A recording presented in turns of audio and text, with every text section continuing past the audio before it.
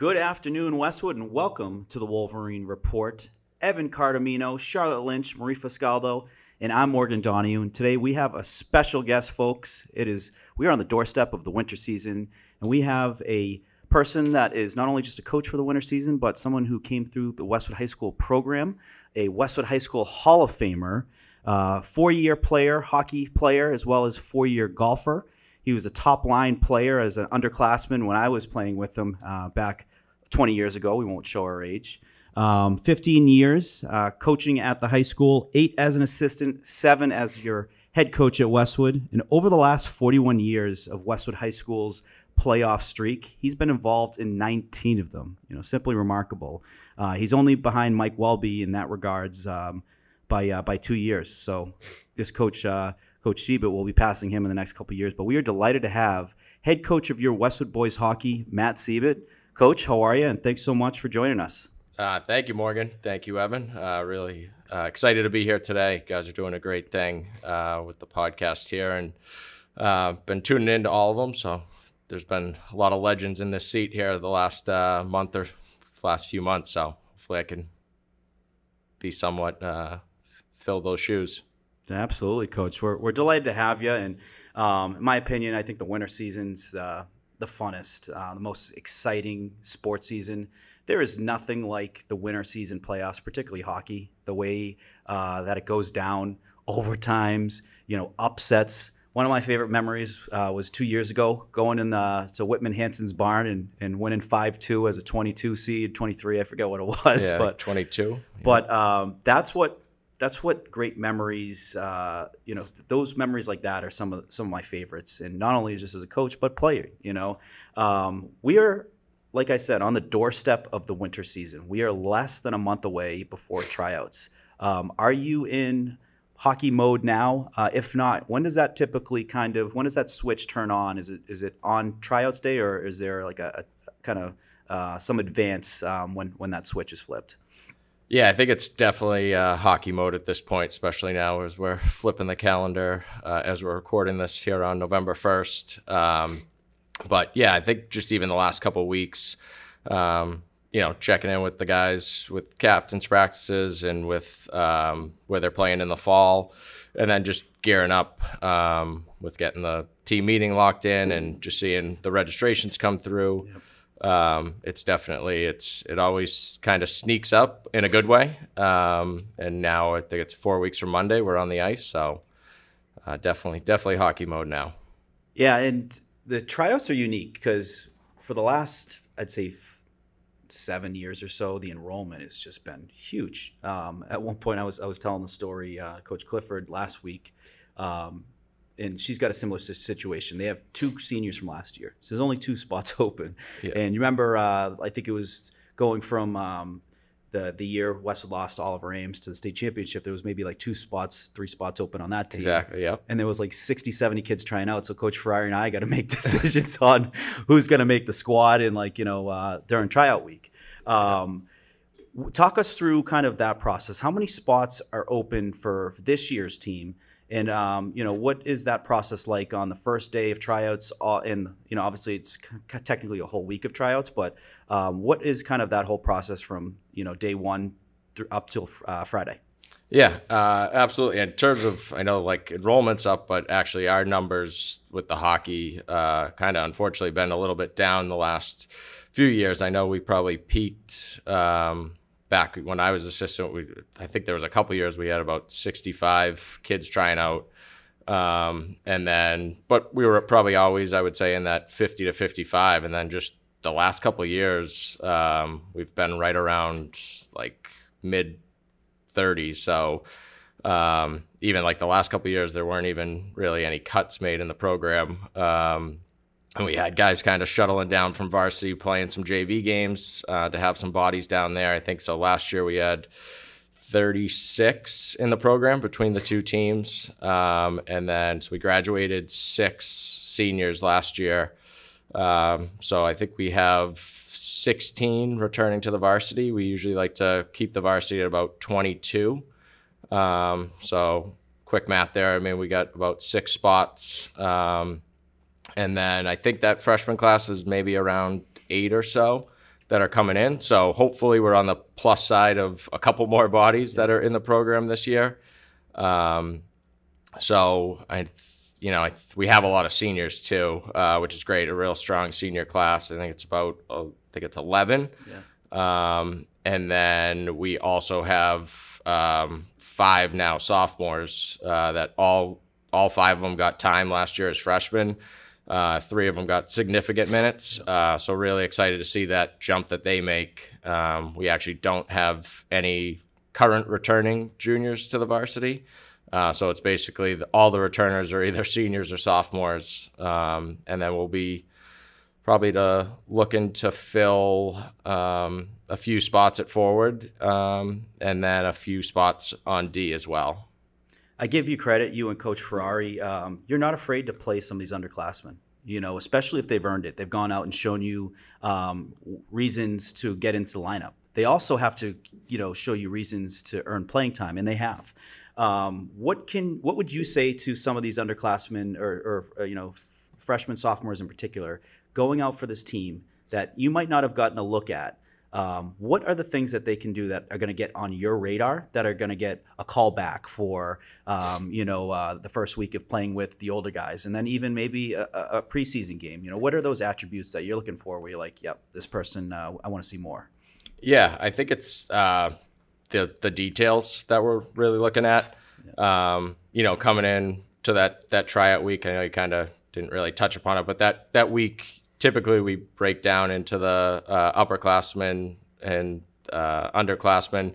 Will depend on how the numbers haven't quite made that decision yet, but uh, in terms of you know we're just looking for them making sure it's you know you're on the ice for 60 minutes uh, you're guaranteed at least a couple couple of days out there just making sure you're going 100 100% the whole time and again that attention to detail like when we are scrimmage you know changing up or getting that puck in deep. You know, it's great to score a goal, make a nice pass, get an assist. I mean, that's not going to, because you scored a goal in tryouts, you're not going to make the team because of that. Um, it's those little things, watching for those younger guys, there might be some new drills and, you know, making sure you're locked in watching whatever Coach Ferrari or myself drawing something up. Uh, or if we talk to you in the line, then putting that to use in the next time through. There's obviously going to be mistakes made, and it's okay to make mistakes. Uh, we all do that. I do that as a coach, um, but then just learning from it. Uh, so I think it's really those things and just that that attitude. You know, looking at me in the eye and mm-hmm. you know taking what we're saying and paying attention. Uh, I think goes a long way. Well, I was going to ask, in your opinion, what do you think makes for a good leader? You mentioned you have a lot of seniors returning what what are some of the leadership qualities you look for them? And then a second part to that question is who are some of the best leaders you've seen come through the hockey program in your time as coach? Yeah um, i think really leading by example is a huge thing in my book. Um, you know when times are tough or walls up against backs against the wall like what are you going to do? How are you going to go out? Are you going to still be a good teammate? Um, you know again everyone makes mistakes course of a game. It's how you approach it. If you're talking on the bench, you know, don't want to be, you know, seeing guys yell at each other or anything like that. Like, have that. Everyone's at the end of the day, we all have the same goal at the end is is to win. Um, so how do we get there? Um, and then, you know, just someone that's able to speak up in that locker room when when it's needed and carry on our message. Um, you know, I always say to the guys and the message to the cap, you know, I want it to be their team um, and not my team or the coaching staff's team um, take that on. And you know we're going to give you those reins until you show that show us that you know you don't have the ability to do that. We've been lucky enough to to have that um, and go in and had and have had great leaders. Um, there's honestly evan there's so many to to go through. Um, you know one definitely sticks out from a couple years ago zach conway. Um, you know absolutely great leader. Um, you know, put his put his time in on, on JV. Kind of had that COVID year, which was you know not good for anyone. But you know, if that was a normal year, probably would have had um, even more opportunity. And then you know comes into a senior year and just you know obviously his peers looked up to him and voted him a captain. Um, and then he took that and ran, uh, which was great. And then another one that was actually a two-year captain as well, Danny Sullivan, um, a kid that came in as a little freshman, uh, playing, scoring big goals right from the beginning, and then just to see him progress and, and be a two-year captain um, was really great to see. But you know, those are two quick ones, but we've honestly been blessed to have really great captains here in the program. Yeah, Coach, mentioned very heavy senior class this year. I think it's full of terrific leaders, um, and I love the way they play the game. They they keep it simple. I can talk to you know uh, from coaching defense, seeing uh, Dumais and, and uh, McCabe, where their game was last year was remarkable. The uh, the the strides they've made, and uh, you know they were dominant on, on the back end. And I can't wait to see what they bring you know this year. And then when you add you know all the forwards. Um, guys who finish their checks, guys who take it to the net, you know, kind of like that old school feel. How excited are you for the returners coming back? And how how high is the ceiling? You know, do you think for this this year's uh, this upcoming season's team? Uh, yeah, I I have high expectations um, on this on this season, and I think the guys do as well. Um, you know, speaking to that large senior class, I mean, just working way out. You know, we have Jack Holland coming back, um, you know, for TVL large goalie of the year, uh, first team TVL All Star, um, really solidified us, gave us a chance. I think it was 15 or 16 games last year, gave up two goals or less. Yeah. Um, so, you know, that gives us a chance to win every single night. Um, and that was his first year in that starting yeah. position. So he has that much more confidence and seeing what he's doing on the football field amazing. is amazing. And, you know, that's just going to give him even more confidence. Um, and got, then he's got ice in his veins. You know. Yeah, no, it's it's so fun to watch. Love watching these guys play uh, the other sports as well. Um, so shout out Jack and the, and the football team moving to the playoffs next week. Um, but you know, then working to the to the blue line there with how you mentioned with Brady Dumais and Josh McCabe, just to see where they've come. Brady obviously being a returning first team TVL All Star, had a great junior campaign, um, and really had a great career here at Westwood so far, but really took it to that next level last year as one of the top defensemen in the TVL and honestly all of probably D2, um, playing tons of minutes, all situations. And then Josh, you know, from where he's come and grown and improved from his freshman year up is absolutely amazing. Probably, I haven't probably seen one single player make make an improvement like he has. Uh, so which is just unbelievable the work that he's put in and all that time that no one sees to yeah. then pay pay off on the ice. So having those two monsters back yeah. there on the blue line is is awesome. Um, and then obviously the forward front got a you know a lot of guys that I think we got a really strong yeah. top six. Um, and then um, also gonna I think we'll have a really good third line, and that's really important to me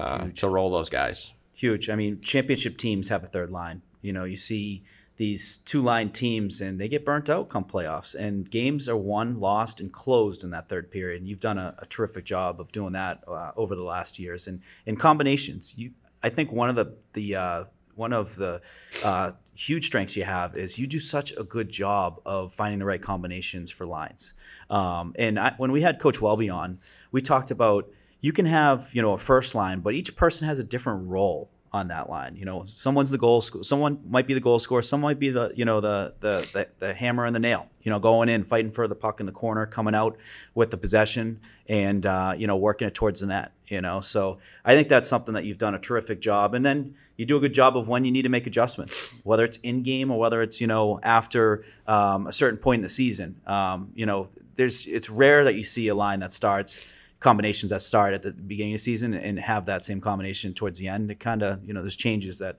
that go through that. Um, but yeah, it's I, I I think what I love most about this team, you know, mentioning how they keep it simple, but they're not afraid to get the ugly goal. And how great is ugly goals? And when I say ugly goals, it's pucks in front of the net, knock it in. You know, you didn't skate through three players. You know, make some you know uh, some nice moves and whatnot. You just put the puck in the net, and you know what? They count the same. You know, uh, how how much do you love to see a good a good hard fought ugly goal? Oh no, absolutely love it. I think we I think big golfer here myself, so use it. You know, no pictures on the scorecard. Yes, there's no pictures on that scoreboard or, or or what gets tweeted out or what goes up. Like it all uh, it all it all counts the same. So I mean, you know, think of those guys. You know, we have hard nosed guys um, that do that. Go to the the dirty areas. You think of like a Timmy Malloy or Yeah. you know uh, Sh- uh, Sean Bloomquist. Yeah. Like they're not afraid to go to those areas, and you know that's why they get rewarded with pucks in the back of the net. Absolutely. So I'm going to ask about the TVL here. So you have Medfield recently just moved away to the TVL small. And when we talk to a lot of coaches from other sports, Medfield is often identified as that number one rival. You only have them once on the schedule this year. Is there another team that's going to move up into sort of that rival spot where you and the team kind of have them circled? Like that's the game we're really looking forward to and we want to win? Uh, yeah, no, I mean, it was very surprising to see them kind of flip flop with Dedham um, and just, you know, going back to when Morgan and I played, like that's been the rivalry, especially in hockey um, with Medfield. Um, so one thing actually just just got finalized the other day with I think we'll get into obviously Ashland and Holliston co-oping in hockey. So kind of very late in the season Yeah. to get non-league games and work with fit in date. So we're actually going to be playing Medfield as a non-league game Love as well, that. Love it. Um, home and home. home and home. Good. So they are they'll be hosting us for the TVL game, but then we will be they'll be coming coming to the ice house uh, for a non-league, non-league, game. yeah. So we will still get them, and you know we had a couple great games with them last year. Um, so that's one big thing. But I think it's been budding a little bit with with Dedham. They've had some good teams the last couple of years, and I think they have a lot of guys back too. So now, I think seeing seeing them twice in a season, that's going to build that rivalry uh, up for sure. It's got to be uh, tough for the McCabe's, you know, when it comes Dedham week. But you know, they they bleed green now. You Yeah, know, they're, we they're part of the, the good squad now. Exactly, The good, they're they're the. Wolverines. Um, who would you consider the rival now? So Medfield being in the TVL uh, small, you're not going to be going up against them for a TVL title. You know, is it is it Hopkinton now? Um, and, and would you also add Norwood to that? You know, if you had to split hairs as well, who would you say uh, if you had to pick one? Um, yeah, it's I would definitely probably Hopkinton just because you know some of the success that they've had the last couple years, or just some of the things that have gone on between the two teams. Um, you know, so I think that's definitely up there. They've they've been really good, but Norwood as well. I mean, both Yeah. those teams have been just strong, not just TVL, but strong in D two and made really long runs in the state tournament. Um, and they're also the other D two teams like ourselves um, from the TVL. So definitely both of those. So I, I wouldn't single one out over the other, but I would say there's definitely a rivalry and you know between both those. Yeah, I mean, I'll, I'll never forget a couple years ago how intense the games were versus Hopkinton. Then we go out and get a, a first round upset, and who do we play in the playoffs? But Hopkinton, you know, in Hopkinton. So it's there's a bitter taste in my mouth um, with, with them, and uh, you know they're a good team. They had a terrific team then too, and, and they're going to have a great team this year, and certainly um, you know that rivalry. And then Norwood, cross uh, cross town, cross border rival. Um, the history there. Uh, we never really got to play them, you know, uh, on a non-league game, and then now we're playing them twice twice a year in for a TVL title. So a lot's on the line for that. They're always a well-coached team. There's, you know, uh, Chuck, you know, uh, Chucky uh, does a great time, uh, a great job over there, and you know, it made me think, you know, that's always been a tough game because they always, you know, each year they, they they have new kids that come in, they plug in that you know pick up where you know the ball was was was left off, and they they they continue to win. But last year, Westwood with a huge win. I believe Evan was it a live game? It wasn't live, but I was filming it. He was three-two overtime winner, Max O'Brien. Max goal. O'Brien. Yep. How What a game. how awesome was that win? It was the first win over Norwood in, in, a, in a couple years. Norwood's been, you know, uh, we, we did have a tie versus them, uh, but Yeah. first uh, win um, in a couple years. How rewarding was that? And, and the fashion of how you guys won. It had to have been, you know, probably one of the best ones of the year. Oh yeah, definitely. I mean, and for Obi to get that was Yeah. was really special. Great, uh, awesome kid Yeah. uh, in the program here for four years, and you know to you know have kind of couldn't script it really any uh, a better way right off the face off there, and he buries it with a great shot. Um, and definitely, I mean those last year seniors and captains like they definitely had Norwood, Medfield. You know they had our number there for a couple years, and you know nothing doesn't sit well with any of us. So it's like you know to to come out and to when you know the game's on the line to deliver like that was was pretty special. It's huge. So the Canton Ice House, an amazing facility. Um, it's you have your own locker room there. Not every team has their own locker room. Boys and girls have their own locker room there. Um, you practice there. You play the games there. Um, it's really you know it, it's built for kind of a college team. You know, Curry College plays their their home games there. Uh, how fortunate are you to have a rink like that as your home rink? I mean, there was we were at Ponkapog for many years, and Ponkapog is not that. The only what I like about Ponkapog, it's like the dive bar of hockey rinks. You know, there's stuff dripping from the ceiling.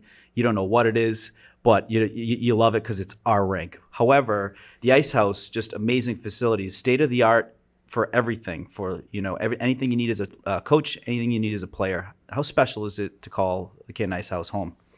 Yeah, it's been um, awesome. Just kind of where we've come like the last couple years with that. Um, you know, I never, I don't think we were ever in a bad situation. I love the back in the Noble days and Yeah. Ponky, like the way Ponky would get packed, uh, was special in its in its own way. But you know, to really have you know our home be there now. I know that the the guys, the boys, love the locker room, love having that. Um, it's pretty cool. Like you know, even just talking to guys that we played with or alumni, or just they're like, you guys have your own locker room, Yeah, like, and try to tell that to all. The, you know, now it's at this point. I, think it's maybe year four coming up. Um, so now it's you know some of these guys that are in the program don't even probably think that we always kind of had this, Yeah, but you know how privileged they are to to have this and all these guys and everything that's come through here without that. So it is, it, you know, does get you know we take the bus from there on the way out. Like it's definitely a home base for us.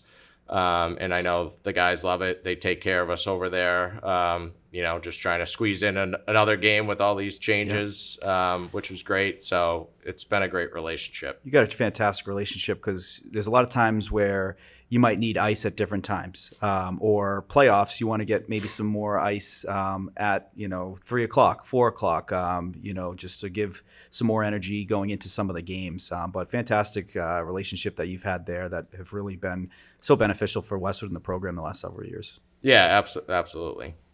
It's, it's also one of my favorite places to film games. I mean, we had some great games. The Norwood game is one of my favorites.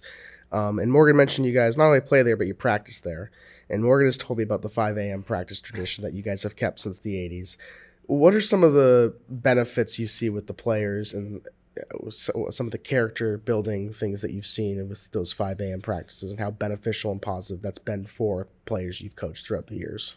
Yeah, um, definitely. And now, with once uh, school got pushed back last year, so now we're at 6 a.m. But still, uh, You guys so- getting soft. I, I know it's it's tough. It, it is a huge that uh, alarm clock from 4:15 to 5:15 is a big difference. But um, you know, I think it's just a, a, a it's just a tradition of the program that the kids really buy in and really honestly like don't have issues with. Um, you know, I think if you look at how successful some of our players have been, like you know, take hockey outside of it. At the end of the day, we want to make boys into men and um, you know put them on a successful place going going off to college or whatever that next step may be in the workforce um, and I think it, it's really that responsibility of you got to take care of your your schoolwork your body all those different things um, that you know you just learn from doing that and having that routine where you know go off to college and you have that 8 a.m class and no one's telling you to go to sleep or do anything like that. And but you have you know that background in the in the hockey program. And i mean i think it i doing it myself for four years uh, i think once you get used to it like you actually embrace it you love it um, you know no other teams in the tvl or or really for that matter in the state. Some teams might do it once in a while um, as like a punishment or something like that but it that's not the way we look at it at all um, and you know where while everyone else is sleeping we're getting better um, and so yeah I think it definitely creates a mental edge. Um, you know, and I think come third periods, you need that um, willpower to get yourself over the, you know, get yourself across the line. Uh, you might be double shifting come third period. There's special teams, power plays, penalty kills, and you might be playing both, and then you're doing your regular shift. Uh, so to have that uh, extra um, gear because you're doing a lot of uh, you know uh, you're waking up early and these practices aren't easy they're hard practices you know we skate uh, we have hi- you know hi, there was high expectations for these practices and how to run them, and uh, I think it not only um, is an advantage come game time, but as you mentioned, it really does um, turn us into men a lot quicker than when we leave high school and we start to go to college and we have to deal with more responsibilities. What what you do with the program is is you're making these kids responsible at an earlier age. If they're going to miss practice, you have rules for that. They have to call you. It's got to be by a certain time. Um, practices it starts at five or five fifteen, whatever it is. It's not five sixteen. It's not five oh one. Kids are on the ice ten minutes before. So these examples that are set through the game of hockey and the Westwood hockey program that's been going on for you know countless years is also part of the winning culture. So we've talked about culture and how it's spanned over decades, and there is no better use case, folks, than Westwood hockey. 41 year playoff streak um, of essentially 41 years of Westwood making the playoffs all in a row. Only team to have even uh, made it that far. I think the closest is in the 20s right now. Um, and this is back. This is old school too. This is you had to win. Uh, you had to get 20 points. Now, like it's different. You can still get into the playoffs with uh, with a, you know less than 20 points if you had a, a higher ranking. So you know that that only started recently with the power rankings. So this was hard to get uh, to the playoffs and to qualify and to do it for that long.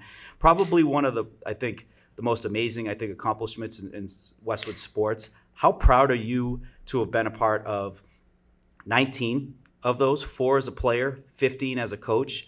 And talk us through too. It's on your mind. It's on Coach Ferrari's mind. Um, it's it's on your mind during practicing games. You know, talk us through kind of uh, how how you use it as a motivator and, and and you know how you want to continue that streak for years and years to come. Yeah, I think it's it's definitely special um, to have that. That you know, it, no one's even close to us with that. And just, I mean, to think about just at this point, there's been parents and or yeah. parents and then their kids that have like been part of it, which is just amazing um, to see that kind of happen. And again, just speaks to the tradition uh, of the program. But uh, yeah, it's definitely something that's on our mind. It's on the captains. It's really on that senior class. Like you don't want to be obviously that one that you know lets it slip or something like that. Um, so definitely, it's a motiv- motivating factor. Um, you know, we have three goals basically every season. Number one is obviously to qualify for the state tournament, and um, you know, the the first one we're looking to check off. Um, and you know, we've been fortunate to have these winning records even in, in this new rankings era. But you know, I think we would all we we got to be over over 500. Uh, we're not sneaking in by some loophole way of, yeah. of, of, this new rankings, but um, definitely something that the kids think about. Um, you know, at times it can be probably a little daunting if you don't get off to that great start, and um, sometimes the schedule's been tough at the beginning of the year, and you get behind it a little bit. But kind of once you get that groove and start picking off some wins. Um, and then I think it's just a big momentum we've had we've had the ability to really once we have qualified to really that's a big confidence boost for the kids and then to carry that momentum through uh, into the end of February and ultimately into the state tournament, which has been a really positive part of it as well. Yeah, I mean, I've had a front row seat for a couple years, and uh, one thing I give you credit for is you you put together a very challenging schedule. Um, and it's usually at the beginning of season too. You know, so there has been those seasons where we started off, you know, two and four, or and and you know what, you've you've done a good job of seeing. I've, I say this a lot, but seeing the forest through the trees. You know, you know that we're going to get better. You know that we're going to have, you know, come uh, the Christmas, uh, you know, the holiday season, that there is a good week of practice where we can continue to sharpen uh, special teams, power play, penalty kill. Also, get some good hard practices in that really uh, build our confidence up. Um, but I give you credit. I mean, those games early on, it's always a Canton game every year, and you guys are always, you know, giving them a really good test every single year. And you know, one of these years, you know, soon Westwood's going to come out with a big win over Canton. Canton's been a top team in Division Two for like the last decade. Um, but uh, you, you, load it. You, you have. Uh, King Philip on the schedule. a really talented uh, team, and um, you're going to play them at home this year. I, I understand. Yep, yeah, they're uh, coming to us. So added them last year. We had a, I think it was ended up we lost two to one, Close o- one. over at Foxborough. It was a great game. Um, you know, they had a really strong team last year, and I know they will again. Big, big, tough team to play against. Um, you know, probably probably the toughest that we played on the schedule in terms of you know the physicality that Oh, they yeah. bring. Um, so I think if you could play in those games, you know, then you get that confidence. You could play against anyone Heard there was a few penalties that game. Um, or a few. But uh, when it goes to, when it comes to your looking at the the, the schedule and um, finding non-league opponents, obviously this year's different because you kind of had a situation, you know, come up with the uh, with Ashland and Holliston coming together, and then you got to find two games, you know. But say it's uh, you have well, uh, you have you have months in advance to kind of put together your schedule. What is your mindset into picking your those non-league games? Uh, yeah, I think um, I think especially now with the way the ranking system works, like you know, we we do play a lot of D three and D four teams in the TVL, um, and just really how it's all like spread out. I don't really know how it all gets done, but it's seems a little creative at times. Um, but anyway, like that definitely even beating some of those teams, and some of those teams are very good. It's like a Medfield that's Yeah. you know D three. Yeah. Um, you know, like, DS, yeah, a top DS, twenty team at one you know, point last year. Exactly, and they're State they're champion. playing at D four. Um, so, you know, so I think getting D two teams that we could play against, they're not all, but for the most part, um, like King Philip, Mm-hmm. Canton, uh, North Attleboro, Oliver Ames, so strong, like some strong teams from the Hockomock. They're you know relatively close to us as well, um, and teams that are perennial, like in that Division two state state bracket. So um, playing against them. We also, you know, had a long-standing relationship with uh, with Lynnfield as well. I think they're D three. They were when we first started playing, they were D two, and we were D three, and now that's flip flopped. Yeah. Uh, but they've had some really strong teams. Um, so and then this year adding in um, Dartmouth, um, a strong D two independent team um, that you know had you know we had a really good game with them in, in the state tournament a couple years ago. Yeah. Unfortunately, lost it overtime, but good to get another crack at them. Yeah. Um, but yeah, I mean, I think it's it's really trying to find teams that are going to give us competitive games. Like you know, those are all winnable games, but you know, no certainly no layups or anything that it's a it's not a point night or anything like that. Like we got. It's going to be a tough. It's a tough two points uh, against any of those teams. We uh, we talked with head coach Mike Welby uh, about a month back, and one thing we talked about is how I said the how amazing Westwood hockey is in the town and how it has been for quite some time. And I mentioned how my father used to take me to uh, to those playoff games that he he played in, and he said, "Watch this kid, number four. He's amazing. He when he touches that puck, it's it's magic. Like he he's a difference maker, and he was so proud to like be able to have this opportunity for a game that my dad loved. He played, you know, uh, growing up. He played high school and college, but to be able to show his kids um, what Westwood's doing and what the possibility and opportunities are out there for his kids, um, and to really light the fire within us of um, wow these guys live in the same town and they're doing it on the biggest stage and th- these guys are my heroes i want to be like that and mike said it's funny you say that i watched the guys in the early 80s with my brother we have that same feeling I remember when I was a freshman uh, uh, playing for Mike um, on our run, I'd see you in the stands um, with you know Joe Young and uh, Drew Holden, and you know probably no two more special players you know at that time than the Holdens. Were those kids that you looked up to? And I know you were number fourteen. Yeah. Was there any reason behind choosing fourteen with uh, you know that being Phil's number? Yeah, definitely. It was all all Phil. Um, so never had worn it prior to, to high school. It was always number two. But um, just like you were saying, so you know, even started before that. Like my dad would take me. Um, I think when we moved to Westwood, I was like six. Uh, so started kind of going right away, and I mean, always like that's those are my idols. That's what I looked up to, and then I think it definitely took uh, a turn there. Like in middle school, you know, was was best friends with Drew Holden, younger brother Tim and Phil. Uh, don't think we missed a game with that crew of buddies. Uh, I think there's what you were talking. There's a great picture. I think of all of us in the stands at, at Walter Brown when you guys beat Blue Hills. Uh, like, you know, some a memory that I always remember. But yeah, I mean, it was always, especially being a golfer myself, like looking up to Tim and Phil. They were huge role models. Always great to me. Gave me the time of day when I would see them. Um, you know, it's they're I think like four years older, but you know, it seemed like they were you know, a lot more than that at the time. It's a lot different now, but um, absolutely, like that was I was like, okay, like I want to be them. I want to. So that that was the whole reason, kind of the switch and yeah. get number fourteen. Yeah, and you had an amazing career as a, as a player. Um, you right out of the gate playing as a freshman, playing as a, a sophomore on, on the top lines for for Coach Mike Welby and uh, you guys continued the tradition. You had some great teams as well. And I remember uh, it was an overtime winner that you were part of. Uh, was it your senior year? Yeah, senior year. Yeah. Um, yeah, talk about in the, the in the playoffs. Yeah, talk about the memories at Ponky. Yeah. Uh, absolutely packed. So it's like you know can't.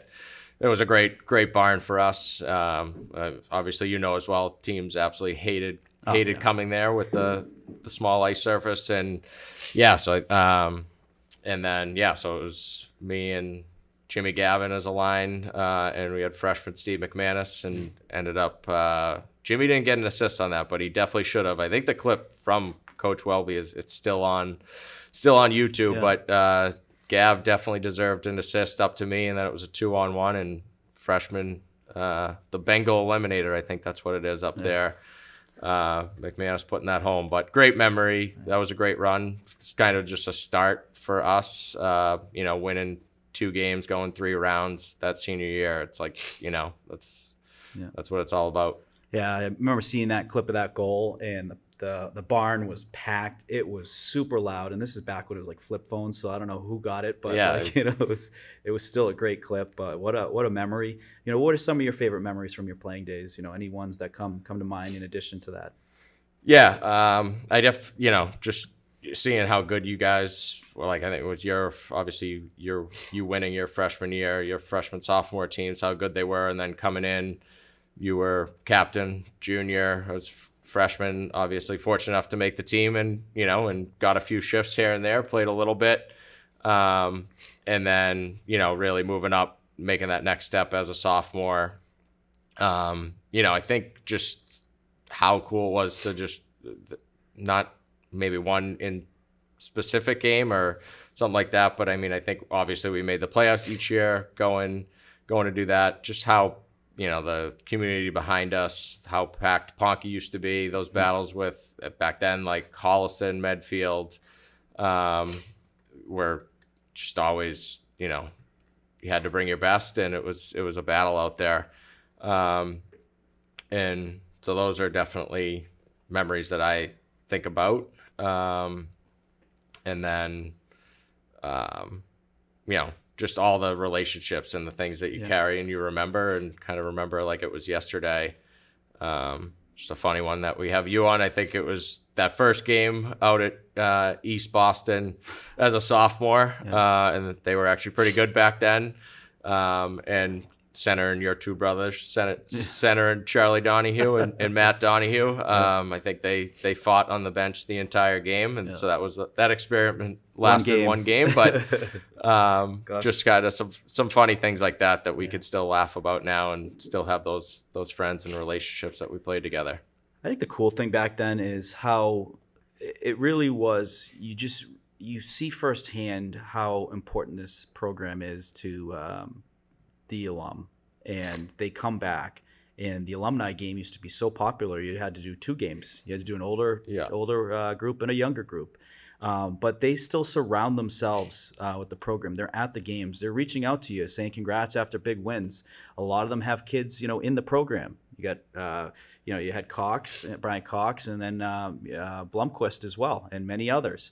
Um, but you also had back in the day, like uh, Coach Mullen, who who came back into the program to be, you know, help out with the stats. Nolte, uh, McCusker. McDonald, Welby, all Westwood guys they all know what it's like to put that jersey on, and they all know how difficult these 5 a.m. practices are and balancing a school schedule and you know the ups and downs of the season and whatnot.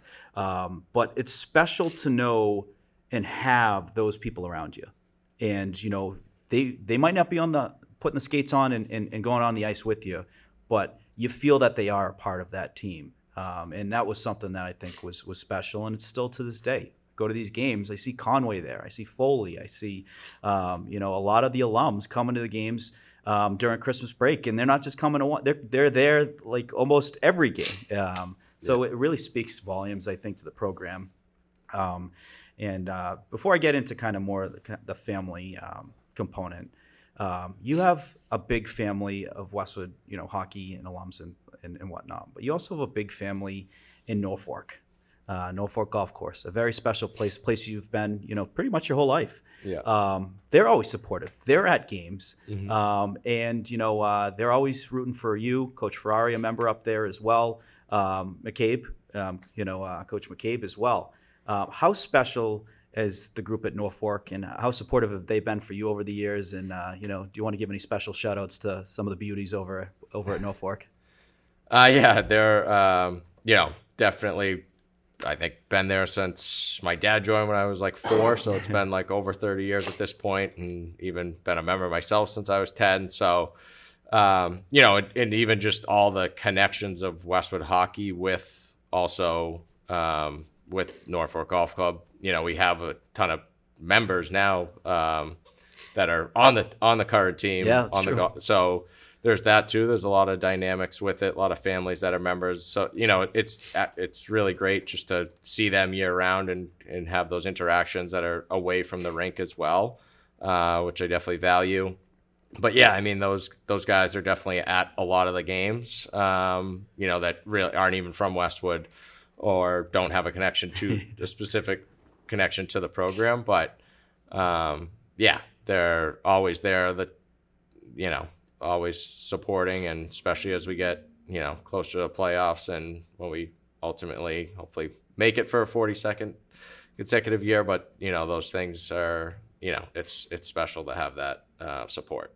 So, coach, you're uh, your father now, um, and uh, that is certainly going to make it a little more challenging with uh, balance, you know, yeah. and being a dad and also being a, a hockey coach. And we're not talking about normal uh, practice hours, you know. So, how do you balance um, being a dad and also the kind of the demanding and unpredictability of the uh, hockey season? You obviously have an amazing partner helping out, but what can you what can you say about balancing that and also the great support system you have? Uh, yeah, um, you know, it's it's great to have have my son Cal now. Uh, just turned a, a, year in September, so coming up on 14 or so months here. Be about 15 as as the puck drops on the season. Um, you know, but obviously would not be able to do any of this without my wife Abby. Um, you know, Amazing. she's always been supporting there. You know, all these Wednesday and Saturday nights, and could uh, could be off doing a lot of other things even before we we had Cal. But you know, she loves being at the games and being there. And you know, obviously the early morning, she hears that alarm clock too, or rustling, getting all the stuff on and out the door. Um, you know, but she's the best. Um, wouldn't be able to do it without her, and especially now, you know, she's got a lot on her plate if I'm away with with the team uh, and she's got Cal. But you know, just to see him at the games was, was so cool last year. Obviously, yeah. he was a little baby in in the carriage. Things will look a little different this season. Um, you know, I'm, he loves to bang on glass and all those different things. So I'm sure you, you might see him uh, up on the glass banging on it for the Wolverines, or just you know looking forward to those opportunities to have him pop into the locker room, see the guys. Um, now that he kind of kind of gets what's going on a little bit. Um, but yeah, I mean, just wouldn't be able to do it obviously without Abby. So she's amazing. I see her at you know every game, and um, Cal's there too. Cal's yep. you know uh, Cal's you know one and two biggest fans. You know right there cheering you on every game. And I'd be remiss not to say when I when I talk about Westwood hockey culture and you know the family, it's it's it goes beyond the players. It's the wives. It's the parents.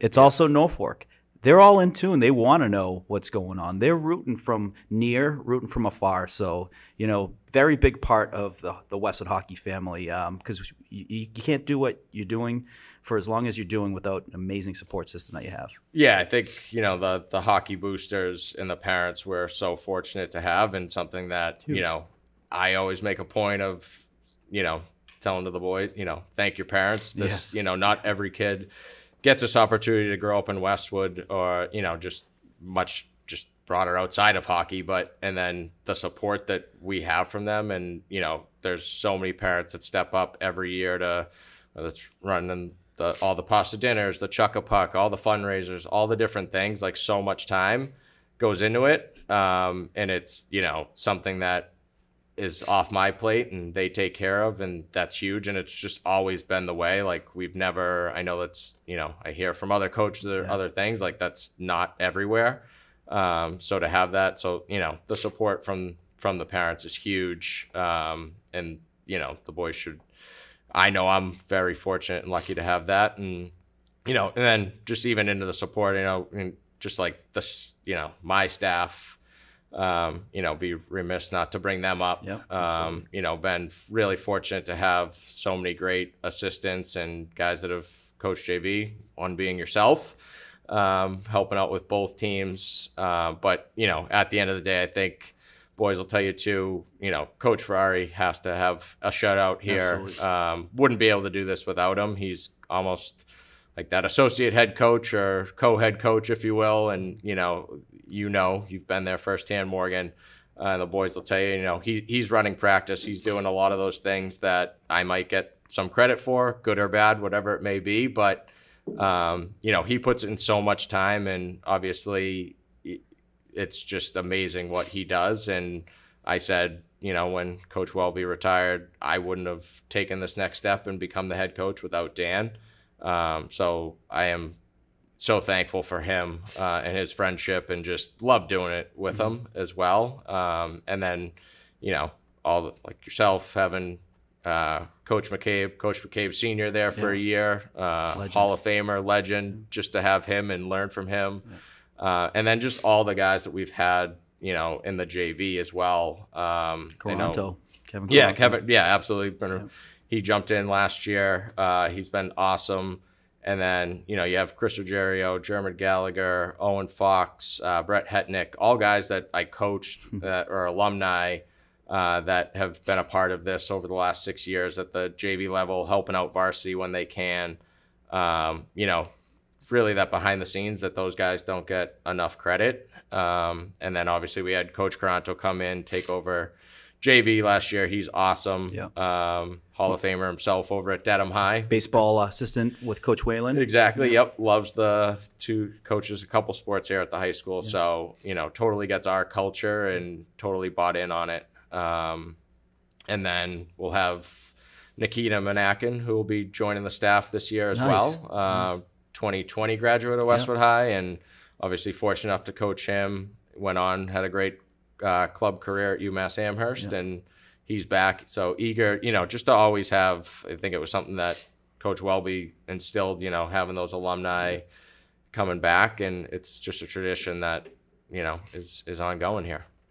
Yeah, I, you look at the guys like Ferrari, um, McCabe, both McCabe's, Caranto. They they did they didn't go to Westwood High School, but they love this program. They love this town. Ferrari grew up in this town. Um, Westwood hockey means so much to him. Um, if you were to amateurize what they get paid and spread it over the amount of practices, games, you know, film and all that, I'd probably say they, they're making about uh, 10 cents an hour. Um, so it's all love. It's all the love of the game, the love of coaching these kids, um, turning them into young men. And uh, it really says how special they are you know what they're doing and um, the sacrifices they make. These are full time. Uh, they have full time jobs. You know, so they're doing this on top of uh, a nine to five, and no one really has nine to five these days. It's you know whenever you got to get your work done. You also got to travel.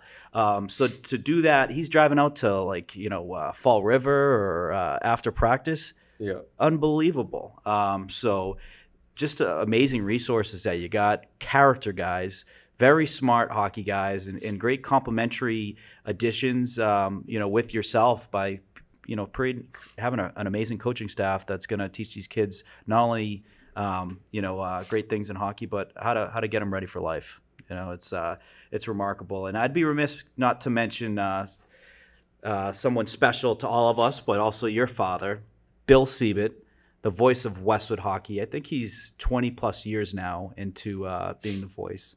Um, he's been there for all the home games. He's even at the away games, you know, and been an amazing support system. How special is it uh, to have him involved in the program?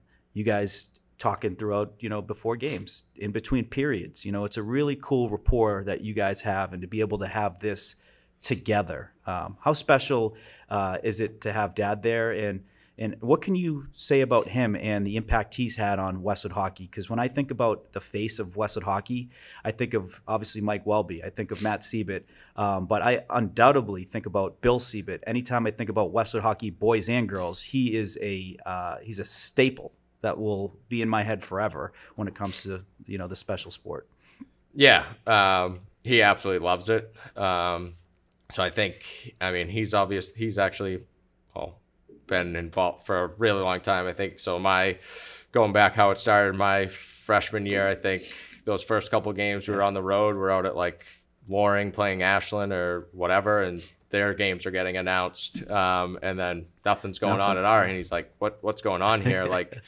So obviously he has a background uh, in radio. Uh, was on radio for for years. Um, so hopped right in and you know went to it was Palmer at the time that was yeah. the athletic director and was like, "Hey, do you mind if I do this or is this something?" And he was like, "Yeah, absolutely. We've never had anyone."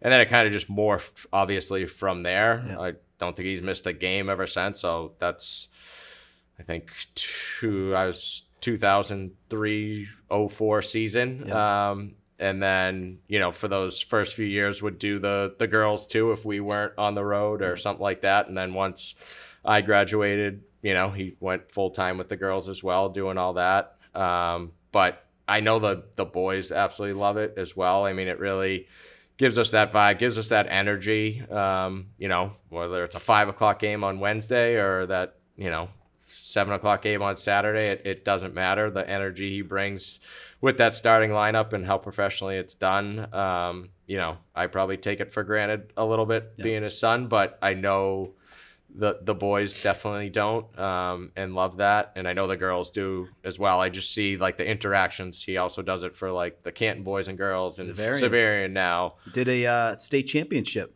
at the Garden. Yep, he's done like a number Legend. of other ones been fortunate. He's been in the garden the last couple years for for the hockey state championships. Uh, so really cool just to hear his his voice there. Now we just need to get there, so he's announcing us. But um, you know, just special how much he cares about it and how you know buttoned up and professionally is with it.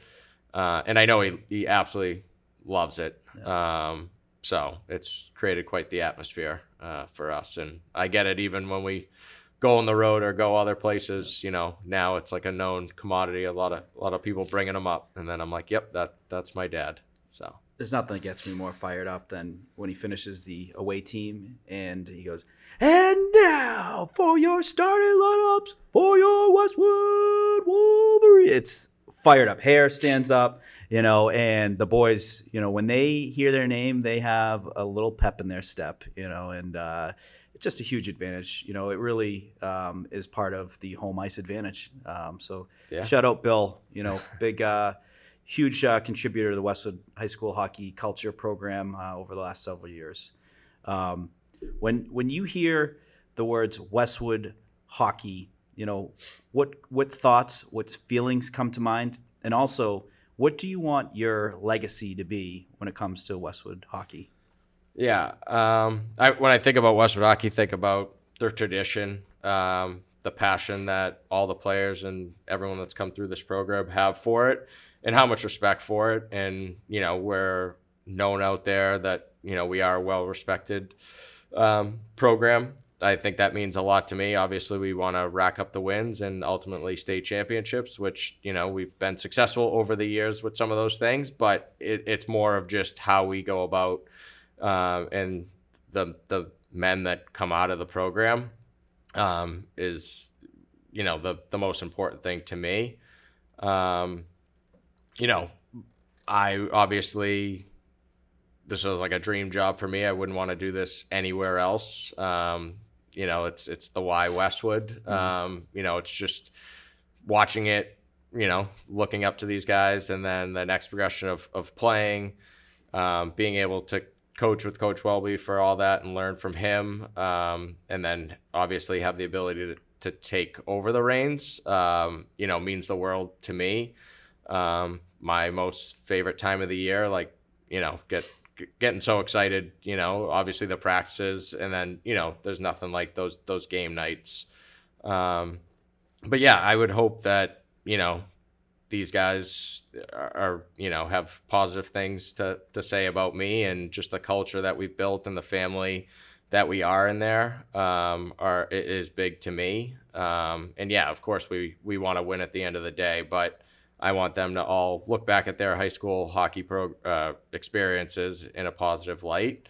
Um, and you know, it's obviously I think for the most part we've we've done that. Um, you know, a lot of it's you brought up like all those guys coming back. Like there's nothing better than those home games and whether so each period walking yeah. walking by all those guys and getting that quick hi hello or whatever it may be from all those alumni like that's huge that makes my day um, seeing those guys and you know i think you know hopefully i'm part of that reason why why they're back oh absolutely um, you know the reason why they come back is not only to see their their their their guys, their team, but to see coach, you know, and to check in and hey, coach, guess what? I'm doing this. You know, it's great to hear the updates from the kids and hearing their it's, successes. You know, it's the best. I feel like um, you're part of the fabric of you know setting them up for these things. Absolutely, and just seeing how much they grow, just it's it's amazing. Just to even see them like not even quite a or maybe just a semester in, like that difference they are.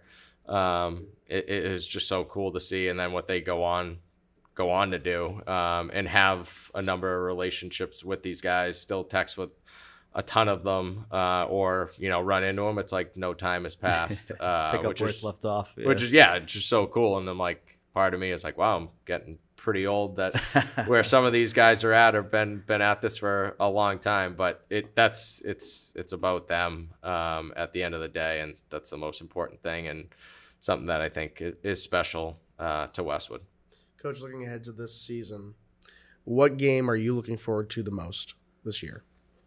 Ah, tough question, having on the spot here. Mm-hmm. Um, I, I, I think that Canton one of the boys always circle it. Um, you know, we do as well. Um, I think, you know, they're they've set the bar um, for D two, and honestly, they could play in D1 easily. Yeah. Yeah. Uh, and what they've done for a number of years, obviously, had our number, have the utmost respect for Coach Schumann, um, Westwood High School teacher. Um, Shout out, Coach. Yep, Coach Shu is the best. Uh, learned a lot from him just over the years. I actually had him his first year teaching at uh, Westwood High when I was a junior, uh, so maybe I can make him feel a little old too. But um, you know, just th- what he's built there and what he's done, like that's what we're striving to get to and to be, um, and just have so much respect for them. But you know, we had a really close game with them last year. I think it could have went our way. Um, obviously, it didn't, but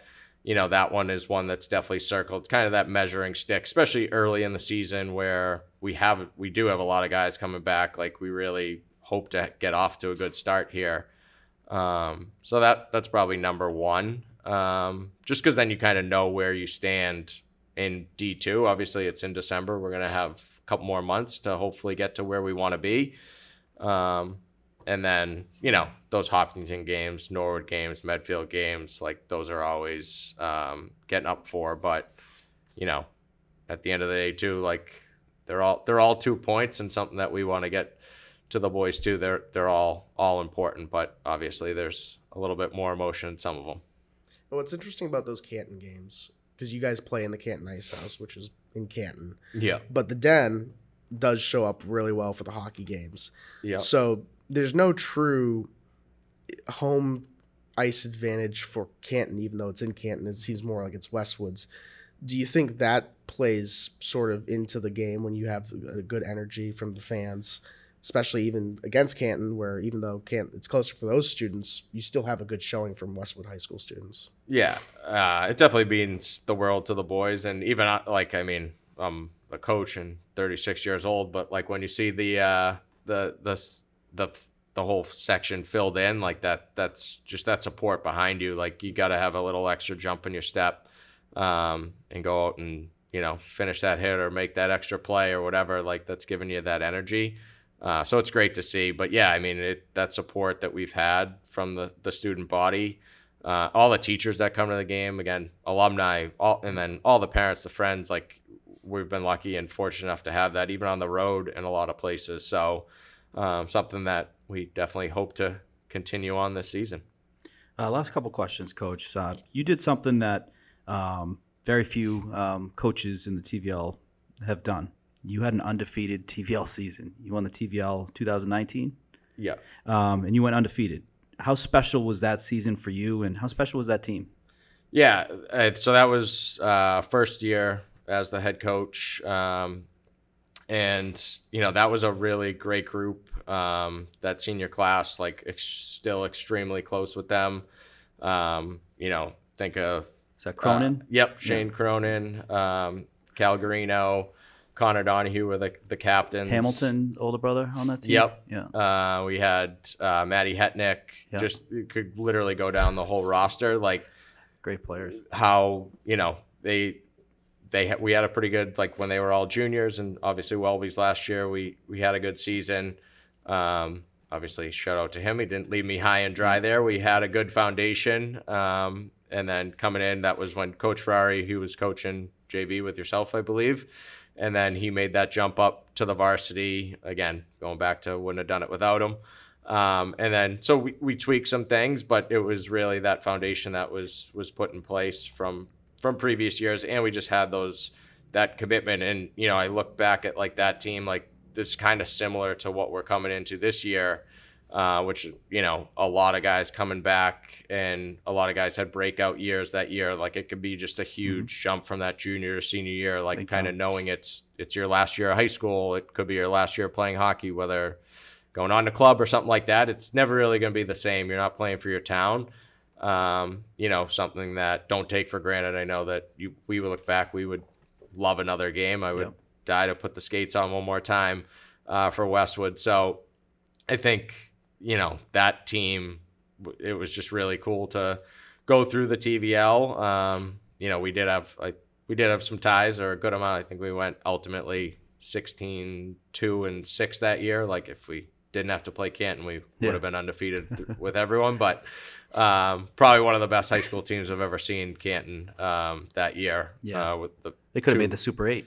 yeah, Yeah, they they should've. sh- they should have. Should've, Um, which whatever that might have put us in a little different place uh, come the D two tournament, but ultimately going to the the South sectionals, one win away from the Garden with that team. Obviously losing to Canton.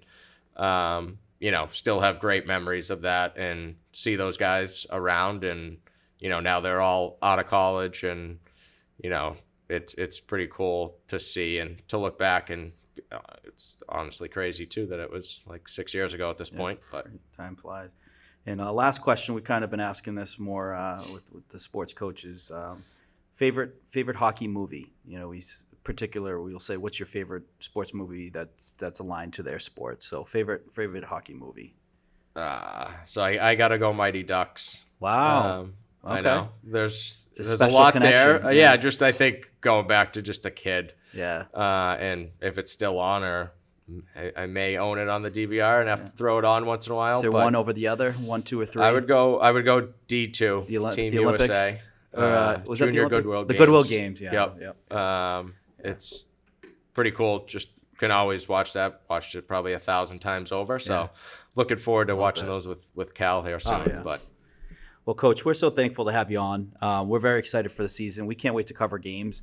Um, we're even having some uh, potential conversations about doing um, working collaborations. We did a uh, I did a collaboration with Norwood Community Media for football, and we're talking about maybe doing um, you know an away game as well uh, for Norwood Community Media and also HCAM. Tom Nappy, you know, Awesome. where we used to watch the video the, the game film on the way home. There was nothing better when we'd go out there, play Hopkinton, then we watch we watch it on the on the ride back. You know, they do a terrific job as everyone in the in the um, TVL, the media uh, companies, me- uh, town uh, community media is amazing. Um, but we're looking forward to covering it. Um, cannot wait for the season, and want to wish you the absolute best of luck. And uh, yeah, really appreciate you coming on and uh, and talking shop with us. Yeah, no, I really, again, appreciate both of you uh, having me. Obviously, had some great guests, and it's a great thing and great exposure. So I just have to give thank you to you guys, Evan, Morgan, like just everything you're doing, building this up. Like it's it's so cool to see, and I know it's not something that we had when we played here, and I think back then you know, have like some of the more of the, the in print media, the, Yeah, the yeah. transcript, Transcript. was cool, and like that was like your thing, and now it kind of just went away, and it's great. All the stuff is on social media, but like to have this to be able to tune in and, and see the interviews on field with the football guys last night um, is is so cool to see. So really appreciate what you guys are doing and, and giving the you know our athletes the opportunity to to to get it get that exposure. Um, and I know they really appreciate it. I know the hockey guys are looking forward to it. So thank you both. Well, appreciate it. Well, appreciate it. Well, thank you again, Matt. And folks, thank you for tuning in to the latest episode of the Wolverine Report. Looking forward to seeing you all on the next one.